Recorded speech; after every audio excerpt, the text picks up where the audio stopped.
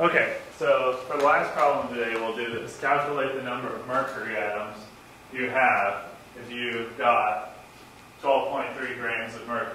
12.3 grams of mercury. So, we know that mercury, the chemical symbol is Hg, and of course, the atomic weight of mercury is 200.6. We'll just approximate 200.6 AMU.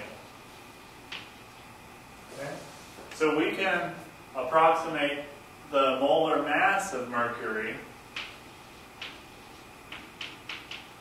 to be 200.6 grams per mole.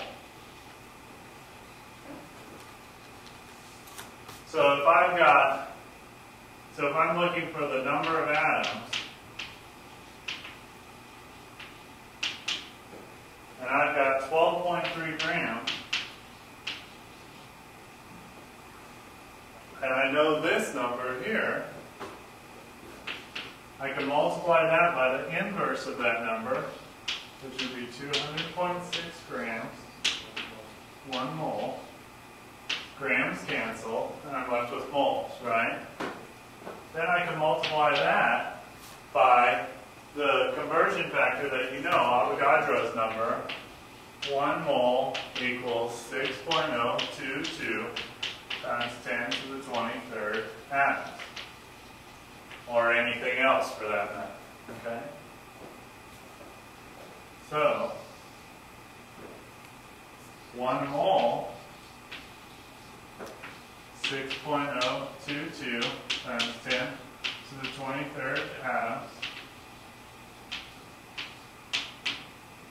Moles cancel, and what do I get? Atoms, right? So is that the number of atoms? That's what we want, right? So is atoms atoms? Yes, that's awesome. Okay, so we go 12.3 divided by 200.6 times 6.022 times 10 to the 23rd. And we get, because we've got three sig figs, we get 3.69 times 10 to the 22nd atoms. And we should have expected it to be a very large number. Okay? But not 6.022 times 10 to the 23rd, because we would need 206 grams to get that money. Okay? So we should expect it to be less than that number, and it is. Okay? So good job, guys. Have a good spring break. And that's that.